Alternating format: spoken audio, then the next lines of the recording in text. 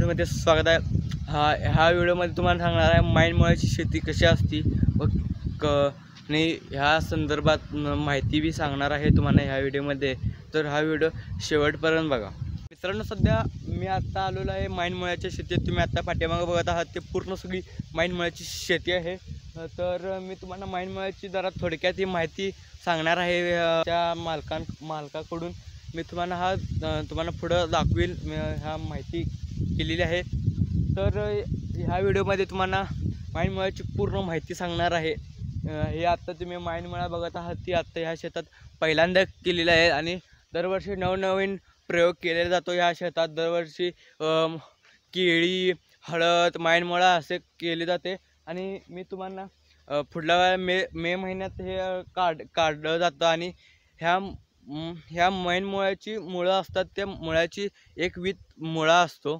त्या मुळ्याची दोन भाग केली जाते. तर मी तुम्हाला हे म- मुळा माईनमुळा काढलं जातं. त्या या वेळेला मी तुम्हाला व्हिडिओ शंभर टक्के दाखवणारच आहे. तर ह्या उन्हामुळं पुढं मला अंधार काळं दिसत असेल तर खरं पूर्ण ही शेती आत्ता सध्या माईनमुळ्याची केलेली आहे. तुम्ही आत्ता बघत आहात भरपूर मोठी माईनमुळ्याची शेती आहे. त्याला फक्त लावल्यापासून ते काढल्यापर्यंत चार पाच वेळा पाणी दिलं तरी बास होतं. आणि त्याला एकही खत काय शेणखत वगैरे काही नाही. नुसतं पाण्यावर येतं. पहिल्यांदा केलेलं आहे. तुम्ही आता बघत आहात पूर्ण हिरवंगार झालेलं आहे पाठीमागं. तुम्ही आता सध्या बघत आहात. माझं नाव बाळासाहेब कर्नाळे. राहणार कुपवाड. माझी कुपवाडमध्ये सहा एकर शेती आहे. त्या शेतीमध्ये ऊस केळी वगैरे लावतो. त्याचप्रमाणे हळद आणि याप्रमाणे नवीन नवीन आम्ही प्रयोग. करतो.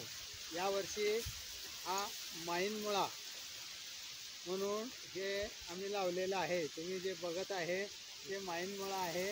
हा चार महिन्याचं हे पीक आहे. त्याला असं खाली एक ईतभर मुळ्यासारखा हा हे येतं आहे आणि हे औषधासाठी उपयोगी आहे. हे एक्सपोर्ट होत असते.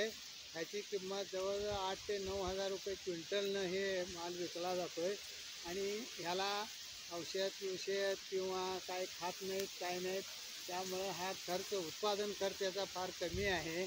आणि एकरी दहा ते बारा क्विंटल हे उत्पादन होतं आहे जवळजवळ एकरी चार महिन्याचं हे पीक आहे. त्याला एक लाख रुपये उत्पन्न सरासरी मिळू शकतं. जर चांगल्या पद्धतीनं आपण केलं तर. आणि हा पहिलाच आमचा यावर्षीचा हा प्लॉट आहे. आणि यामध्ये चालू वर्षी चांगल्या पद्धतीचं आलेलं आहे.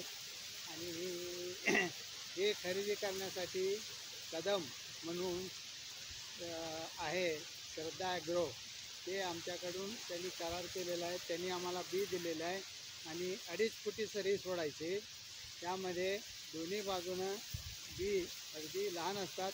ते बी टोचतो चार चार फुटावर चार चार इंचावर. सात आठ सात आठ दहा बी घालायचं आणि त्याला पाणी सोडायचं. पहिलं एक दोन महिने पाणी सोडावं लागतंय आणि दोन महिन्यानंतर जर पा सुका लागलं तरच पाणी सोडायचं नाहीतर पाणी कमी करावं लागतंय.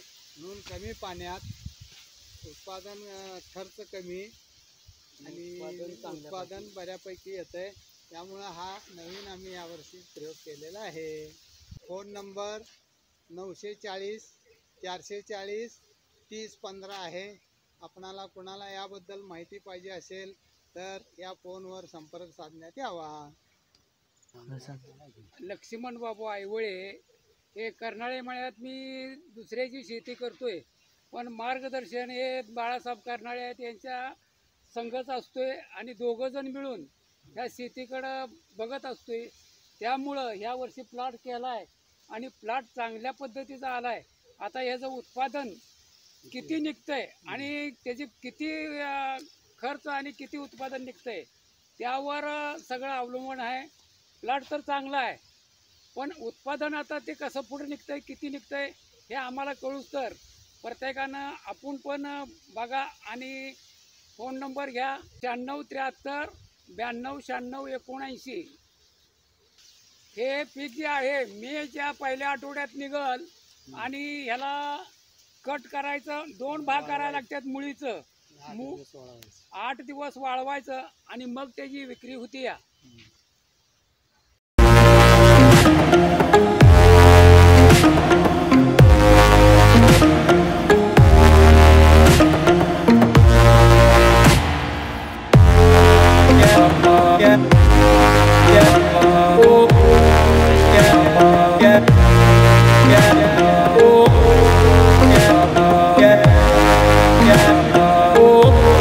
मित्रांनो हा व्हिडिओ कसा झाला ते मला कमेंट बॉक्समध्ये नक्की कळवा. आणि व्हिडिओ आवडला असेल तर नक्की लाईक करायला विसरू नका आणि व्हिडिओ शेअर करायला पण विसरू नका.